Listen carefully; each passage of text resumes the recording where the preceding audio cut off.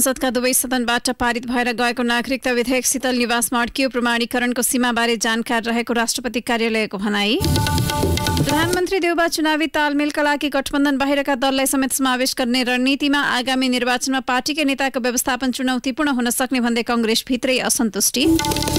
चीनद्वारा नेपाललाई पन्ध्र अर्ब रुपियाँ बराबरको आर्थिक सहयोग केरुङ काठमाडौँ रेलमार्गको सम्भाव्यता अध्ययनका लागि पनि अनुदान दिने प्रतिबद्धता। राजनैतिक सारथी फेर्दै नीतिश कुमार आठौँ पटक बिहारका मुख्यमन्त्री बन्न सफल। बिजेपीसँगको गठबन्धन तोडेपछि भारतको राजनीतिक तरङ्गित।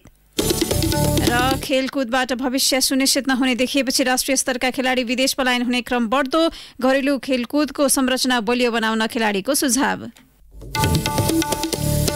नमस्कार कान्तिपुर। डायरीका साथमा साथी रमेश र म दिवा अब समाचार विस्तारमा। संसदका दुवै सदनले पारित गरेर पठाएको नागरिकता विधेयक राष्ट्रपति विद्यादेवी भण्डारीले तेह्र दिनदेखि विचाराधीन राख्नु भएको छ। विदेशी महिलाले नेपाली पुरुषसँग बिहे गरेमा चाहेको बखत अङ्गीकृत नागरिकता लिन सक्ने व्यवस्था सहित केपी शर्मा ओली नेतृत्वको तत्कालीन सरकारले गत वर्ष जेठमा अध्यादेश ल्याउँदा भने राष्ट्रपतिले लगत्तै जारी गर्नुभएको थियो। यद्यपि सर्वोच्च अदालतले अध्यादेश कार्यान्वयनमा रोक लगाउँदै नागरिकता जस्तो संवेदनशील विषयमा संसदबाट मात्र कानून बनाउन आदेश दिएको थियो। सरकारले संसदमा प्रस्तुत गरेको नागरिकता ऐन संशोधन विधेयकमाथि छलफल गरेर प्रतिनिधि सभाले साउन छ र राष्ट्रिय सभाले साउन बाह्रमा पारित गरेका थिए। सभामुख अग्निप्रसाद सापकोटाले विधेयक साउन पन्ध्रमा प्रमाणीकरणका लागि शीतल निवास पठाउनु भएको थियो तर जनप्रतिनिधिको सर्वोच्च संस्था संसदबाट पारित भएको विधेयक राष्ट्रपतिले तेह्र दिनसम्म पनि प्रमाणीकरण गर्नुभएको छैन। कुनै पनि विधेयकमाथि विचार गर्न राष्ट्रपतिलाई पन्ध्र दिनको समय संविधानले नै सुनिश्चित गरेको छ तर राष्ट्रपतिले अघिल्लो सरकारका पाला विधेयक मात्र होइन हरेक अध्यादेश र सिफारिस क्षणभरमै प्रमाणीकरण गर्दै आउनु भएको थियो। गत वर्ष जेठ सातको मध्यराति प्रतिनिधि सभा विघटन गरेका तत्कालीन प्रधानमन्त्री ओलीले त्यही बेला नागरिकता संशोधन अध्यादेश ल्याउनु भएको थियो। अध्यादेश राष्ट्रपतिबाट जेठ नौमा प्रमाणीकरण भएर सोही दिन राजपत्रमा छापिएको थियो। अमुक राजनीतिक उद्देश्य प्राप्तिका लागि विधायिकाको अधिकार र प्रभावकारितामा अनुचित हस्तक्षेप गरेर अध्यादेश ल्याउन नमिल्ने सर्वोच्चको आदेश थियो। सर्वोच्चले भनेको थियो अघिल्लो दिन प्रतिनिधि सभा विघटन गरी भोलिपल्ट अध्यादेश जारी गर्ने अभ्यासलाई सहज रूपमा लिइयो भने संविधानद्वारा प्रदत्त विधायिकाको कार्यक्षेत्रमा हस्तक्षेप हुन पुग्ने र शक्ति पृथकीकरणको सिद्धान्त अनुकूल व्यवस्थित संविधानका प्रावधानहरूको कार्यान्वयनमा अनुचित असर पर्न जाने देखिन्छ। सर्वोच्च अदालतले यस्तो कडा टिप्पणी लेख्नुपर्ने अध्यादेश पनि क्षणभरमै प्रमाणीकरण गर्ने राष्ट्रपति भण्डारी जनप्रतिनिधिहरूले विधिवत पारित गरेको विधेयक प्रमाणीकरणका गर्न भने हिचकिचाउनु भएको छ। सर्वोच्च अदालतका निवृत्त न्यायाधीश गिरीश चन्द्र लाल अघिल्लो सरकारले ल्याएको अध्यादेशसँग मिल्दा विषयवस्तु भएको विधेयक राष्ट्रपतिले पहिले नै अध्ययन गरेको हुनुपर्ने र अहिलेको ढिलाइ अस्वाभाविक भएको धारणा राख्नुहुन्छ। विधेयक प्राप्त भएपछि राष्ट्रपतिबाट राजनीतिक परामर्श भइरहेको शीतल निवासले जनाएको छ। राष्ट्रपति कार्यालयका प्रवक्ता सागर आचार्यले विधेयक प्रमाणीकरण गर्ने समय सीमाबारे राष्ट्रपतिलाई थाहा भएको प्रतिक्रिया दिनुभयो। सत्तारूढ गठबन्धनको नेतृत्व गर्दै पाँचौँ पटक प्रधानमन्त्री बनेका कङ्ग्रेस सभापति शेरबहादुर देउबा पछिल्लो समय गठबन्धन बाहिरका दलहरूसँगको चुनावी छलफलमा व्यस्त हुनुहुन्छ। जनता समाजवादी पार्टीबाट विभाजित भएर नयाँ दल खोलेका नेता बाबुराम भट्टराई र लोकतान्त्रिक समाजवादी पार्टीसँग समेत चुनावी तालमेलका लागि देउबाको अग्रसरता देखिएको छ तर एकपछि अर्को दललाई चुनावी तालमेलमा भित्र्याउँदा पार्टीभित्रका नेताकै व्यवस्थापनमा सकस हुने भन्दै कङ्ग्रेसको अर्को पक्षले असन्तुष्टि जनाउन थालेको छ। सोमबार सभापति तथा प्रधानमन्त्री शेरबहादुर देउवालाई भेटी कङ्ग्रेसकै शीर्ष तहका नेताहरूले सत्ता गठबन्धनसँग व्यवहारिक वैज्ञानिक र स्वाभाविक प्रकृतिको चुनावी तालमेल गर्न सुझाए। उनीहरूले पार्टीका उम्मेद्वार विजय हुने कुरालाई केन्द्रमा राखेर सिट बाँडफाँड गर्नुपर्नेमा ध्यान आकर्षण गराए। त्यसको एक दिन अघि आइतबार प्रधानमन्त्री देउवाले लोकतान्त्रिक समाजवादीका अध्यक्ष महन्त ठाकुर सहितका नेताहरूलाई भेटी गठबन्धनमा आउन आग्रह गरेका थिए। कङ्ग्रेस नेता बलबहादुर केसी भए जतिका सबै दललाई गठबन्धनमा सामेल गराउँदा पार्टीमा लामो समय योगदान दिएका अग्रज नेता नेताहरूको व्यवस्थापनमा थप समस्या हुनेमा चिन्ता व्यक्त गर्छन्। उनले भने नेपाली काङ्ग्रेसको टोटल सिटमा माइनस हुने बित्तिकै त अलिकति त समस्या आइहाल्छ नि धेरै नेताहरूलाई एडजस्ट गर्नुपर्ने स्थिति छ।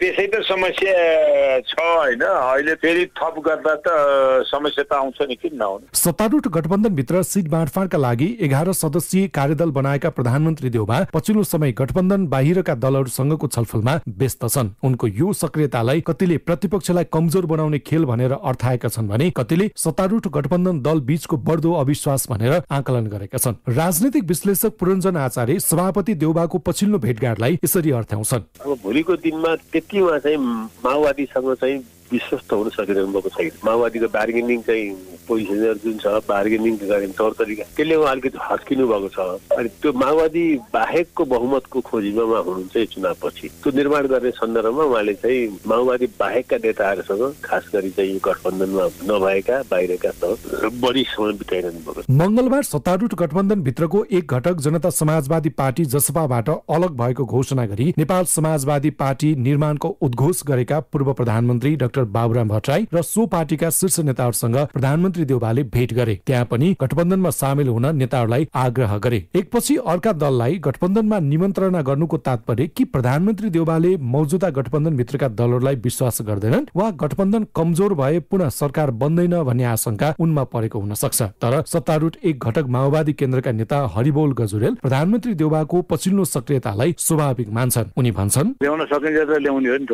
ठिकै छ अनि त्यो ठिक छ त्यो नीति अन्तर्गतै पर्छ त्यो। प्रतिगमन विरोधी शक्तिलाई कमजोर बनाउने भने मुख्य कुरो हो क्या। प्रतिगमनको पक्ष विरोधीहरूलाई एक ठाउँमा ल्याउने प्रतिगमनलाई कमजोर गर्ने मुख्य लक्ष्य हो नि त। त्यसले फरक पार्दैन केही संसदीय अभ्यासमा एउटै विचारधार भएका पार्टी बीचको गडजोडलाई सकारात्मक कदम मानिएको छ। तर सत्ता र शक्तिका लागि चुनावमा जस्तोसुकै सम्झौता गर्न पनि तयार रहने दलहरूको परिपाटी विकसित छ। डाक्टर बाबुराम नेतृत्वको नेपाल समाजवादी पार्टीकी उपाध्यक्ष दुर्गा सोप चुनावी तालमेलका लागि पहिलो प्राथमिकता सत्तारूढ नै भएको तर्क गर्छिन्। हामी गठबन्धन भित्रको हौ पार्टीहरू मात्रै अलग भएको हो। चुनावमा जाने भनिसकेपछि हामीले त गठबन्धनमा त सहभागी हुनै पर्ने हुन्छ होइन? अब हाम्रो पहिलो प्राथमिकता भनेको यही गठबन्धनसँग गठबन्धन गरेर जाने हो। अब यो गठबन्धनसँग हुन सकेन भने अनि हामी अरू पार्टीहरूसँगको सहकार्य अथवा अरूसँग गठबन्धन गरेर तालमेल गरेर जाने कुरा त्यो हाम्रो चाहिँ दोस्रो हो। यसो त गठबन्धनको नेतृत्व गरेका प्रधानमन्त्री देउबालाई बढी भन्दा बढी दलको विश्वास जितेर चुनावमा होमिदा फाइदा हुन सक्छ। तर अहिले पार्टी र गठबन्धन भित्रका दलहरू मिलाएर लैजानु पर्ने चुनौती र दबाव देउबामाथि बढ्दै गएको देखिन्छ। रेडियो कान्तिपुरका लागि सन्तोष गन्धर्व।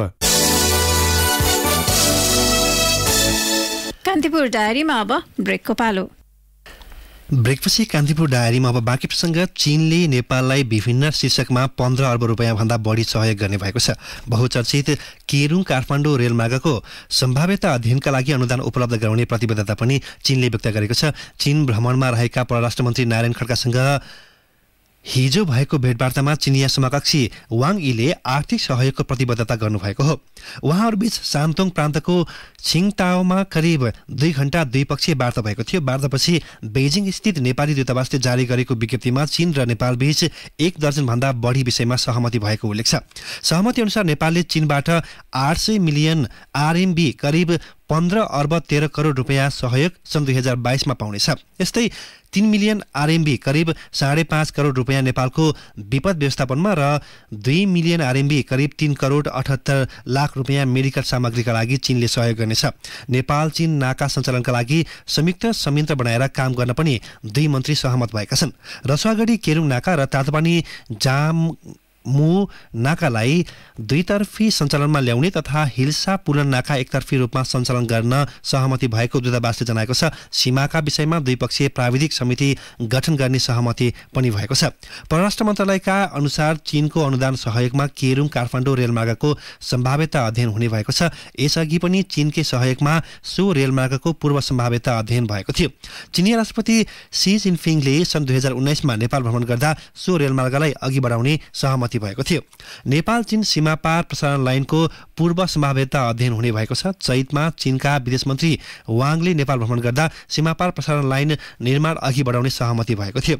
नेपाललाई रासायनिक मल उपलब्ध गराउन र नेपालमा रासायनिक मल उद्योग खोल्नका लागि सम्भाव्य अध्ययन गर्न पनि सहयोग गर्ने प्रतिबद्धता चीनले व्यक्त गरेको छ। मन्त्री वाङले नेपाललाई आवश्यक कोभिड नाइन्टिनको खोप तथा अन्य मेडिकल सामग्री उपलब्ध गराउने तथा निजामती सेवा अस्पतालमा ब्लड क्यान्सर उपचारका लागि chimeric antigen receptor T cell प्रयोगशाला स्थापना सहयोग गर्ने प्रतिबद्धता जनाएका छन्। चीनले आफ्नो मुलुक फर्कन चाहने नेपाली विद्यार्थीलाई स्वास्थ्य प्रोटोकल अनुसार भिसा प्रक्रिया अघि बढाउने भएको छ। चिनिया सहयोगमा निर्माण भएका परियोजनालाई तीव्र रूपमा अघि बढाउने र विभिन्न समयमा भएका सम्झौता र सहमतिलाई कार्यान्वयन गर्न पनि दुवै पक्ष सहमत भएका छन्। मन्त्रालयले दुवै मन्त्रीबीचको बैठक सौहार्दपूर्ण र फलदायी रहेको जनाएको छ।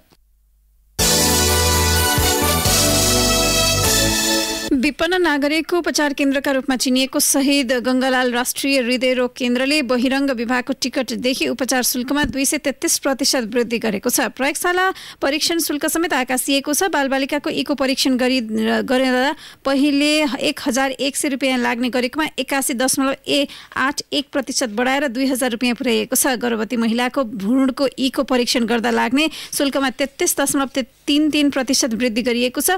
पहिले सो परीक्षणमा पन्ध्र सय रुपियाँ लाग्ने गरेकोमा अब दुई हजार तिर्नुपर्नेछ। यति मात्र नभए सिसियुको बेड चार्ज प्रतिदिन चौध सय रुपियाँबाट बयालिस दशमलव आठ पाँच प्रतिशतले बढेर दुई हजार रुपियाँ भएको छ। आकस्मिक परीक्षण शुल्कमा समेत वृद्धि गरिएको छ। हृदयघात भएको हो वा होइन भनेर गरिने सिपिके एमबी परीक्षण शुल्क बढेर तिन सय रहेकोमा दुई गुणाले बढाएर छ सय रुपियाँ पुर्याइएको छ। गङ्गालालले गरेको शुल्क वृद्धि सरकारले सञ्चालित Manmohan cardiothoracic vascular and transplant सेन्टरको दाजुमा धेरै बढी हो। गङ्गालालले जस्तै मनमोहनले पनि सञ्चालन खर्च आफै बेहोर्नुपर्छ।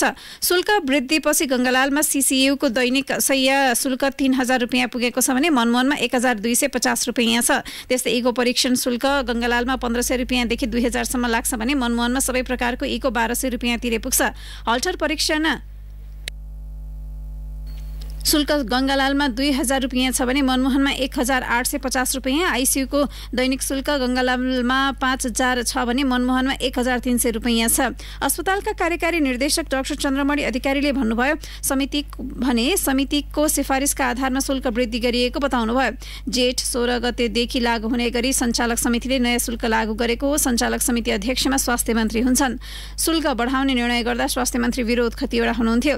सञ्चालक समिति सदस्य तथा स्वास्थ्य मन्त्रालय मन्त्रालयका सचिव डाक्टर रोशन पोखरेलले शुल्क वृद्धिको निर्णय समितिले सिफारिसकै आधारमा गरेको बताउनुभयो जनस्वास्थ्यविद डाक्टर शरद वन्त सरकारद्वारा सञ्चालित स्वास्थ्य संस्थामा अस्वाभाविक शुल्क वृद्धि गर्नु गम्भीर विषय भएको र यसले सरकारप्रति जनतामा नकारात्मक सन्देश प्रभावने बताउनुहुन्छ। अस्पतालमा लामो समयदेखि कार्यरत एक वरिष्ठ चिकित्सकले राज्य कोषबाट चल्ने संस्थामा अस्वाभाविक शुल्क वृद्धिले सेवा प्रभावित हुने बताए। सरकारले जनताले तिरेको करबाट मेसिन डिस्पोजेबल घर लगायत सबै खर्च दिए पनि त्यसबाट निरीक्षण शुल्कको नाममा निजी क्षेत्र जस्तै अचाकले शुल्क उठाउनु पूर्ण रूपमा अवैधानिक रहेको उनको भनाइ छ। कान्तिपुर डायरीमा पुनः ब्रेकको पालो। ब्रेकपछि कान्तिपुर डायरीमा अब आर्थिक प्रसङ्ग बैङ्क तथा वित्तीय संस्था र लघु वित्तमा रहेका प्राकृतिक व्यक्तिहरूको कुल निक्षेप मध्ये करिब नौ खर्ब रुपियाँको बिमा भएको छ। कदेखि घ वर्गसम्मका वित्तीय संस्थामा रहेका सर्वसाधारणको तीन करोड उनसत्तरी लाख उन्साठी हजार सतहत्तरवटा खातामा रहेको निक्षेपको आठ खर्ब एकानब्बे अर्ब बयासी करोड रुपियाँको बिमा भएको निक्षेप तथा कर्जा सुरक्षण कोषले जनाएको छ। गत असारसम्म सर्वसाधारणको तीन करोड सैँतिस लाख अठार हजार पचासीवटा खातामा रहेको आठ अर्ब उनासी आठ खर्ब उनासी अर्ब एक्काइस करोड रुपियाँको निक्षेपको बिमा भएको थियो। व्यक्तिगत खाताको निक्षेपको प्रति खाता न्यूनतम तिन लाख रुपियाँ बिमा गर्नुपर्ने प्रावधान अनुसार हालसम्म उल्लेखित रकमको बिमा भएको हो। यो बिमाबाट चालु आर्थिक वर्षको पहिलो त्रैमासमा मात्र कोषले पैँतिस करोड सडसठी लाख उन्तिस हजार रुपियाँ प्रिमियम सङ्कलन गरेको छ। गत आर्थिक वर्षमा कोषले एक अर्ब सैँतिस करोड चालिस लाख बयासी हजार रुपियाँ प्रिमियम सङ्कलन गरेको थियो। चालु आर्थिक वर्षको बजेट मार्फत सरकारले सर्वसाधारणको निक्षेप मध्ये पाँच लाख रुपियाँसम्मको बिमा हुने व्यवस्था गरेको छ। अब अन्तर्राष्ट्रिय प्रसङ्ग राजनीतिमा न त कोही स्थायी मित्र हुन्छन् न त शत्रु। यो भनाइलाई चरितार्थ पार्ने एक चर्चित व्यक्ति हुन् भारत बिहारका मुख्यमन्त्री नीतिश कुमार। उनका लागि कुनै पनि पार्टीसँग जोडिनु र तोडिनु सामान्य विषय हो। सरकार परिवर्तन गर्ने कलामा उनी माहिर छन्। यही कुरालाई प्रमाणित गर्दै फेरि एकपटक राजनैतिक सारथी परिवर्तनसँगै आठौँ पटक उनी बिहारका मुख्यमन्त्री बनेका छन्। नीतिश कुमारका राजनैतिक कदमले बिहारको मात्र नभई अहिले समग्र भारतको राजनैतिक वृत्त गर्माएको छ। बिहारमा जुनसुकै दल होस् तर जनता दल युनाइटेडका संस्थापक नीतिश कुमार सरकार बनाउनको लागि अनिवार्य शर्त जस्तै बन्दै आएका छन्। भनिन्छ नीतिश कुमारसँग सत्तामा टिकिराख्ने यस्तो सूत्र छ जसले हरेक पटक उनलाई मुख्यमन्त्री बनाउँछ। बिहारको राजनैतिक अवस्था जस्तो सुके होस् जसले जेसुकै परिवर्तन गरोस् मुख्यमन्त्री नीतिश मात्रै रहन्छन्। अर्थात् सरकार नयाँ तर हरेक पल्ट अनुहार एउटै दोहोरी रहन्छ त्यसो त नीतिशको पटक पटकको आकस्मिक राजनैतिक कदमले भाजपा मात्र मात्र होइन अन्य दल पनि हैरान छन् सन् उन्नाइस सय नब्बेमा नीतिश लालु यादवसँग थिए। कतिसम्म भने नीतिशले यादवलाई आफ्नो ठुल्दाई मान्थे। तर त्यो साथ सन् उन्नाइस सय चौरानब्बेमा टुट्यो। त्यसै बेला उनले जर्ज फर्नान्डेससँग मिलेर समता पार्टी बनाए। सन् उन्नाइस सय अन्ठानब्बेमा उनले यादवलाई छोडेर फेरि बिजेपीसँग गठबन्धन गरे। तर फेरि सन् दुई हजारमा शरद यादवसँग मिलेर उनले जनता युनाइटेड पार्टी बनाए। सन् दुई हजारको तीन मार्चमा तत्कालीन प्रधानमन्त्री अटल बिहारी वाजपेयीको सहमतिमा उनी पहिलो पटक सात दिनका लागि मुख्यमन्त्री बनेका थिए। सन् दुई हजार पाँचमा दोस्रो पटक मुख्यमन्त्री बनेका नीतिशले सुशासन बाबुको उपमा पाएका थिए। सन् दुई हजार तेह्रमा उनले बिजेपीको साथ छोडेर महागठबन्धन सहितको सरकार बनाएका थिए। त्यति बेला उनले प्रधानमन्त्री नरेन्द्र मोदीलाई मुख्य कारण देखाएका थिए। लोकसभा चुनावी प्रचारको जिम्मा त्यति बेला मोदीलाई दिएको थियो। सन् दुई हजार पन्ध्रमा नीतिशले फेरि लालु यादवको पार्टी आरजेडीसँग मिलेर गठबन्धन बनाए र मुख्यमन्त्री बने। तर फेरि सन् दुई हजार सत्रमा नीतिशले महागठबन्धन तोडेर बिजेपीलाई नै आफ्नो सत्ता सारथी बनाए। सन् दुई हजार बिसमा उनले फेरि बिजेपीसँग मिलेर सरकार बनाए र अहिले त्यसको दुई वर्षपछि फेरि उनले बिजेपीसँगै गठबन्धन तोडेर कंग्रेस सहित विपक्षी दलसँग महागठबन्धन गरेका छन्। आकस्मिक र अचानक रूपमा पार्टी परिवर्तन गर्न माहिर मानिएका नीतिशलाई लालु यादवले बिहारको राजनीतिमा पल्टी रामको संज्ञासम्म दिएका थिए। यद्यपि अहिले फेरि नीतिशले उनै लालु यादवको पार्टीसँग हात मिलाएका हुन्। सत्ताका लागि जुनसुकै बेला पार्टी परिवर्तन गर्न पछि नपर्ने उनको राजनैतिक रणनीतिले उनलाई सन् दुई हजारदेखि आजसम्म आठौं पटक मुख्यमन्त्री बनाएको छ। पछिल्लो उनको कदमपछि बिजेपीले बिहारका जनताको म्यान्डेटमाथि घात भएको भन्दै आपत्ति जनाएको छ। बिजेपी बिहारका अध्यक्ष सञ्जय जयसवालले नीतिशले बिहारका जनतालाई धोका दिएको बताएका छन्।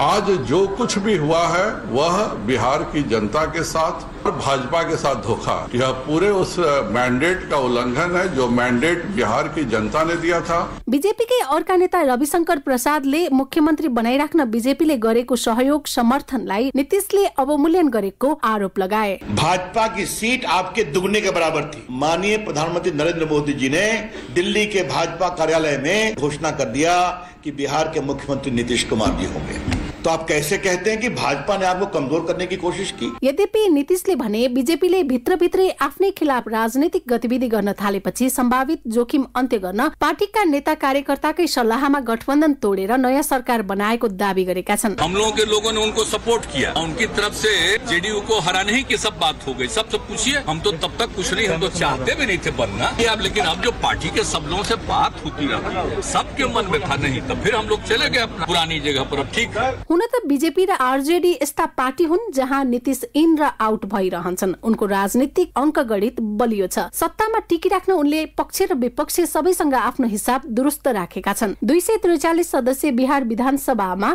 जेडीयूको पैतालिस बिजेपीको सतहत्तर र अन्य चार गरी एक सय बाइस सिटमा नीतिशको बहुमत थियो। तर बिजेपीबाट खतरा बढेको महसुस गर्न थालेका नीतिशले गठबन्धन नै तोडेर पछिल्लो महागठबन्धन गरे जस अनुसार समीकरण बदलियो र उनी फेरि मुख्यमन्त्री बने। विकासको मामिलामा पुछारमा रहेको बिहारमा उनले कानूनी शासन स्थापित गरे सड़क पुल लगायतका संरचनाको उल्लेख्य विकास समेत गरे। स्वास्थ्य र शैक्षिक क्षेत्रमा आमूल परिवर्तन पनि ल्याउन उनी सफल भए। समग्र बिहारीको औषध आमदानी दोब्बर बनाउन उनको योगदान खास रह्यो। उनको वाहवाही भइरहेकै थियो तर अहिले भने सत्ताका लागि उनको राजनीतिक रवैयालाई लिएर भने आलोचना बढ्न थालेको छ। रेडियो कान्तिपुरका लागि भारतीय संचार माध्यमको सहयोगमा इन्द्रलक्ष्मी घिमिरे। कान्तिपुर डायरीमा अब खेल प्रसङ्ग खेल प्रसङ्गमा कान्तिपुर सविस्तार। कान्तिपुर सविस्तार। राष्ट्रिय टोलीको जर्सी लगाउने चाहना खेल जीवन सुरु गर्ने सबै खेलाडीमा हुन्छ। राष्ट्रिय टोलीको जर्सीमा खेल्न पाउनु खेलाडीका लागि आफैमा एक महत्त्वपूर्ण उपलब्धि हो। तर राष्ट्रिय टोलीमा पर्ने खेलाडी नै आफ्नो जीवनयापनका लागि विदेशिनुपर्ने बाध्यता उनीहरूमाथि देखिँदै आएको छ। पछिल्ला पटक फुटबलका विमल राणा र हेमन्त थापा मगर विदेशिएका छन्। नेपालमा सर्वाधिक सफल मानिएका फुटबल भलिबल क्रिकेट जस्ता सामूहिक खेल मात्र होइन व्यक्तिगत स्पर्धा हुने खेलका खेलाडी पनि विदेशी नै क्रम बढ्दछ। टु थाउजन्ड सिक्सको लास्ट लिगमा चाहिँ पुलिससँग गेममा घाइते हुन पुगेँ क्या म मेरो लिगामेन्ट च्याट्यो त्यति बेला अनि कतिवटा सहयोग पनि पाइएन लाइक नेपाली प्लेयरहरूसँग पैसा नै कति हुन्छ र होइन? सर्जरी गर्न महँगो अनि मेरो सोचै थिएन कि फुटबल खेलिरहेको घाइते नहुन्जेलसम्म विदेश जाने विदेशमा केही गर्ने भन्ने सोचै थिएन। नेपालमै फुटबल खेल्छु भनेर बसिरहेको थिएँ क्या। घाइते भएपछि चाहिँ अब कतिवटा सहयोग पनि आएन। कुरा न एन्साबाट सहयोग आयो न खेलकुद परिसरबाट सहयोग आयो न क्लबबाटै केही भयो? त्यो भएको चाहिँ अलिकति फ्रस्ट्रेट भएर एकचोटि ल अब ट्राई गरौँ विदेशमा यहाँ बसेर फुटबल खेल्न सकिँदैन किनकि खुट्टा त्यस्तो छ। उनी हुन् अखिल नेपाल फुटबल संघ एन्फा एकाडेमीको पहिलो ब्याचका खेलाडी प्रलय राज भण्डारी हाल अमेरिकामा छन्। अन्डर सिक्सटिन र नाइन्टिन ए डिभिजन लिगका फ्रेन्च क्लब एनआरटी र थ्री स्टार हुँदै राष्ट्रिय टोलीबाट समेत खेलेका प्रलय खेलका दौरान घाइते भए पश्चात कतैबाट सहयोग नपाएपछि विदेश पलायन भए। आफू विदेशीय पनि नेपाली फुटबल नजिकबाट निहाल्ने गरेको उनी बताउँछन्। फुर्सदको बेला फुटबल खेल्ने गरे पनि नेपाली फुटबल भने धेरै सम्झने उनी बताउँछन्। नेपाली फुटबल चाहिँ एकदमै धेरै मिस गर्छु होइन? हामी यहाँ पनि खेलिरहेको हुन्छौँ होइन? म कोच पनि गर्छु अब यहाँ पनि सिकाउँछु होइन? आफू पनि भ्याएको बेला खेल्न जान्छु। सो त्यो हिसाबमा चाहिँ फुटबल मिस चाहिँ हुँदैन तर नेपाली फुटबल चाहिँ एकदम मिस हुन्छ क्या। प्रलय राज भण्डारी विदेशी नै नेपाली खेलाडीका एक प्रतिनिधि मात्र हुन्। थुप्रै खेलाडी विदेशिनुका आफ्नै कारणहरू छन्। कोही व्यक्तिगत इच्छा आकांक्षाका कारण विदेशिन्छन् भने कोही आर्थिक अवस्था सुधारकै लागि विदेशिने गरेका छन्। खेलकुदमा भविष्य अन्यल हुँदा खेलाडीले पलायनको बाटो रोज्न बाध्य हुन्छन्। घरेलु फुटबलको संरचना बलियो बनाउन सके विदेशी नै खेलाडीको संख्यामा कमी आउने बताउँछन्। फुटबल खेलाडी संघका अध्यक्ष तथा राष्ट्रिय फुटबल टोलीका पूर्व कप्तान विक्रम लामा। नेपालमा डोमेस्टिक फुटबल अलिकति बलियो तरिकाले बलियो संरचनामा नभएको अवस्थाले गर्दाखेरि सीमाहरू अब खेल एक्टिभिटिज नेपालमा नहुँदा जानु भएको हो भने चाहिँ त्यो कुरालाई रोक्नको लागि चाहिँ सकेसम्म चाँडोभन्दा चाँडो चाहिँ डोमेस्टिक फुटबलको संरचना बलियो तरिकाले चाहिँ सञ्चालन गर्नु पर्यो खेलिरहेका खेलाडीले अझ आफूले निखार्ने मौका पाउँछ भने नयाँ खेलाडीले त्यहाँनिर आफ्नो अनुभव लिने अथवा आफूलाई बनाउने मौका नि पाउँछ जुन कारणले गर्दाखेरि चाहिँ फुटबलमा नि रमाउने वातावरण त्यहाँनिर अब प्लेयर सस्टेनेबलदेखिका कुराहरूलाई ध्यान दिएर एउटा स्ट्रक्चर बनाइने हो भने सायद यसरी विदेशी क्रम धेरै हदसम्म कम हुन्छ जस्तो लाग्छ मलाई व्यावसायिक खेल खेल्नका निम्ति कोही खेलाडी विदेशिन्छन् भने यसलाई सकारात्मक पाटोका रूपमा लिनुपर्छ। तर खेल क्षेत्रबाटै अलगिएर विदेशिन्छ भने यसले समग्र खेल क्षेत्रकै नकारात्मक सन्देश प्रवाह गर्छ। खेलाडीलाई खेल क्षेत्रमै टिकाउनका लागि सरकार राष्ट्रिय खेलकुद परिषद राखेप र व्यावसायिक रूपमा आइसकेका खेल संघहरूले सोच्ने बेला आइसकेको छ। खेलाडी पलायन हुने स्थितिलाई गम्भीरतापूर्वक सोच्नुपर्ने राष्ट्रिय खेलकुद परिषद राखेपका सदस्य सचिव टङ्कलाल घिसिङको भनाइ छ। फुटबलको कुरा छ। कोच र खेलाडीहरूको बीचको विवाद वा संघले बेलामा गर्नुपर्ने नियम भनेको एन्फाको त्यति बेलाको निर्वाचन त्यस पछाडि अहिले निर्वाचित केन्द्रीय समितिको बैठक बस्न नसकिराखेको ती काम कारवाहीहरूप्रति ती प्रतिवेदन उप कुनै ठोस कदम नचाल्नु यी कुराहरूले पनि यस्ता असरहरू परेकै छ। र यो पर्नु राम्रो हुँदैन। वास्तवमा राष्ट्रिय टिममै भइराखेका खेलाडीहरू पलायन हुन चाहिँ यसप्रति हामीले गम्भीरतापूर्वक समीक्षा गर्नुपर्दछ। खेलाडीहरू पलायन हुनु राम्रो होइन। त्यसलाई रोक्नका निमित्त साँच्चै नेपालमा खेल खेलेर नै एउटा निर्वाह गर्न मात्र सकिने कुरा होइन। देशलाई मात्र खुसी होइन खेलाडी आफै खुसी हुने परिस्थिति निर्माण गर्न लाग्नु पर्दछ नामले मात्रै भविष्य सुनिश्चित हुँदैन। सम्बन्धित क्लबका खेलकुद विभाग राज्य र सम्बन्धित निकायले खेलाडीको भविष्य सुनिश्चित गर्नुपर्छ। खेलेर मात्रै भविष्य बन्ने नदेखेपछि खेलाडीहरू अर्को विकल्प खोज्छन्। खेलाडीले आफ्नो उर्वर उमेर खेलमा लगाएका हुन्छन्। नियमित रूपमा खेल गतिविधि नभएर आफ्नो भविष्य अन्यल देखेपछि विदेशी नै बाध्यता खेलाडीमा रहेको खेल पत्रकार प्रकाश तिमल सेना बताउँछन्। नेपालमा फुटबल गतिविधि हुँदा हुँदै आमदानीको राम्रो स्रोत हुँदा हुँदै जानुभयो भन्ने एउटा अर्को विषय हुन सक्थ्यो तर अहिले चाहिँ के भने फुटबल गतिविधि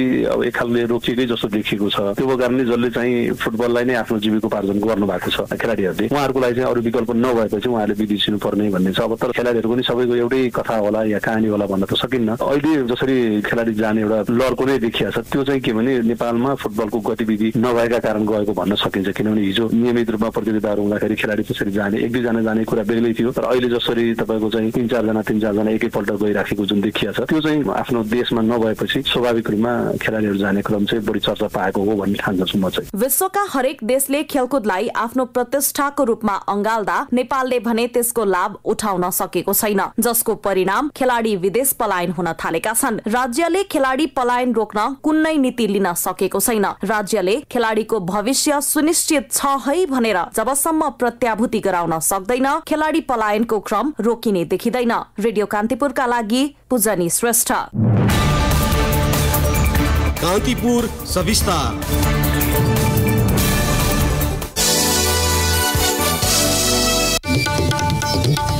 सविस्तारसँगै कान्तिपुर डायरीको बुलेटिन यहीँ सकिन्छ। साथी रमेश र म दिवा पनि बिदा माग्छौँ। नमस्कार।